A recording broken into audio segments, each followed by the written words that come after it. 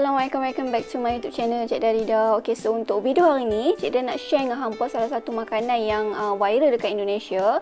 Yang mana nama makanan yang hampa nampak dekat depan ni, mereka bagi nama kuih sarang laba-laba. Bentuk dia seakan-akan macam roti jala, tapi rasa dia bukan macam roti jala. Dan dia punya tekstur pun bukan macam roti jala. Okay, so uh, sebelum Cik Darida share dengan hampa macam mana rasa dia, jom kita tengok macam mana cara nak buat kuih sarang laba-laba ni dulu. Okey, ni bahan yang kita perlukan. Tepung gandum, tepung ubi kayu, tepung beras, esen vanila, gula dalam 2 sudu besar, telur ayam sebiji, minyak masak 1 sudu besar, susu full cream dan last sekali garam lebih kurang setengah sudu besar. Okey, so untuk resepi ni Syed Ida guna satu cawan tepung gandum. So hampa sukatlah pakai cawan metrik ni, satu cawan. Kemudian hampa masukkan tepung gandum ni dekat dalam mangkuk. Okey, untuk tepung beras, Cik Ida guna 3 sudu besar tepung beras. Yang ni Cik Ida pakai tepung beras cap teratai. Eh. Okey, untuk tepung ubi pun sama, 3 sudu besar juga.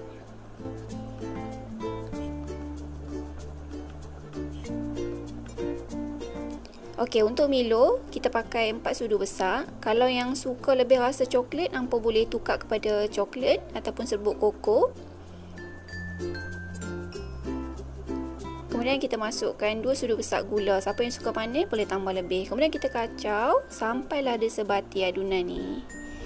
Okey, so bila adunan ni dah sebati, pecahkan telur dalam piring. Lepas tu hampa masukkan telur dekat dalam adunan tepung. Kacau adunan ni sampailah ada sebati. Okey, lepas tu kita masukkan garam setengah sudu besar. Kemudian kita masukkan susu. Susu ni kena pandai agak-agak. Okey, jangan terlebih letak nanti apa punya adunan cair. Adunan ni lebih kurang macam kita buat adunan roti jala. Dia tak terlampau pekat dan tak terlampau cair. Okey, untuk satu kotak susu full cream tu, Cik Ida tak guna habis pun. Ada balance lagi sikit. Okey, so yang ni pandai-pandai agak lah nah. Okey, lepas tu kita kacau adunan ni sampai ada sebati. Kalau hampa malas kacau pakai tangan, hampa boleh je pakai mixer lagi cepat sebenarnya. Okey, lepas dah sebati, hampa masukkan satu sudu kecil esen vanila yang ni untuk hilangkan uh, bau telur dan mewangikan kita punya crepe ni. Kemudian hampa kacau sampai ada sebati. Okey, bila dah agak-agak sebati macam tu, last sekali baru hampa masukkan satu sudu minyak masak. Nak gantikan dengan margarin ataupun butter pun boleh juga. Okey, lepas tu kacau sampai ada sebati. Okey, so adunan ni dia tak terlampau cair, tak juga terlampau pekat. So lebih kurang jadi macam ni. Okey, lepas tu adunan ni apa kena tapis, masukkan dekat dalam bekas. Kita tapis supaya ketulan-ketulan tepung dan juga telur yang tak ancok tu dia tak masuk dekat dalam kita punya adunan.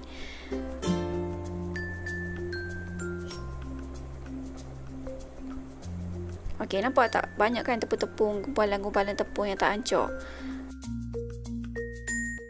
Okey, so untuk acuan, Cik Ida pakai acuan roti jala. Pada hampa yang tak ada acuan ni, hampa boleh guna botol air. Tapi hampa kena tebuk sikit lah dekat bahagian penutup dia.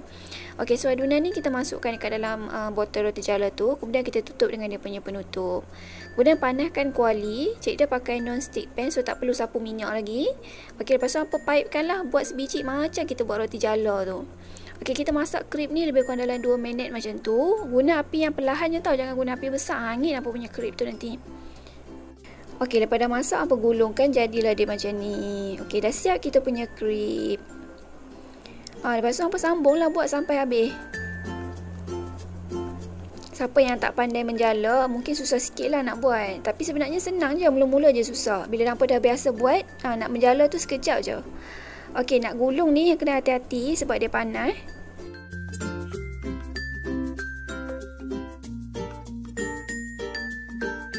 Okey, so dah siap kita punya Milo Crepe Crispy. Okey, apa dengar eh dia punya crispy dia macam mana?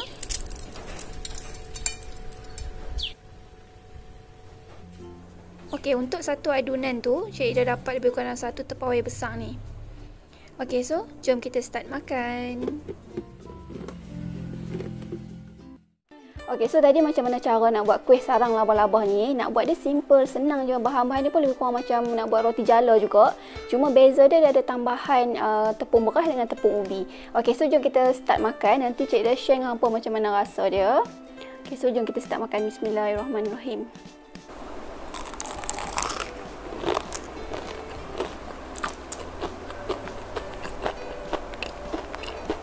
Dengar tak dia punya crispy dia tu?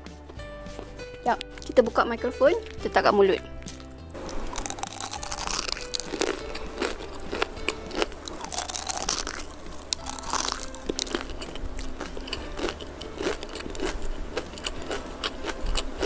Rasa dia rangup, crispy, crispy dengan rangup sama lah maksud dia kan. Okey, dia rangup, okey, sedap. Dia tak sama macam roti jala. Roti jala dia lembut kan.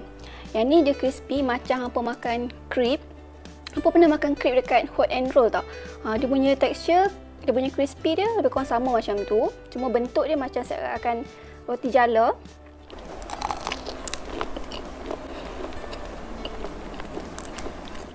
Memang sedap benda ni. Tambah-tambah kita letak Milo kan.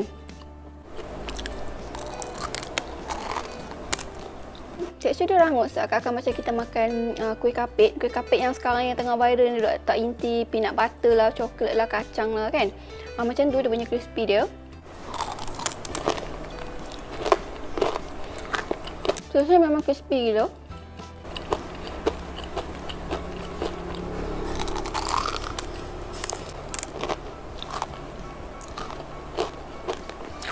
Sebab yang ni saya letak Milo. So dia rasa macam kita makan crepe coklat.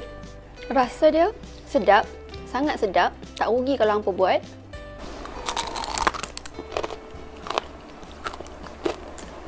Nak buat jual pun boleh benda ni.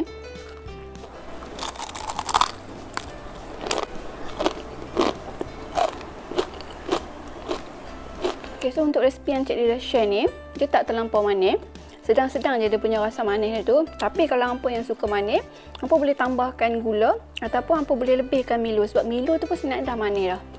Tapi pada Cik Ida, better hampa tambah Milo lah. So dia punya rasa coklat tu akan rasa lebih lagi.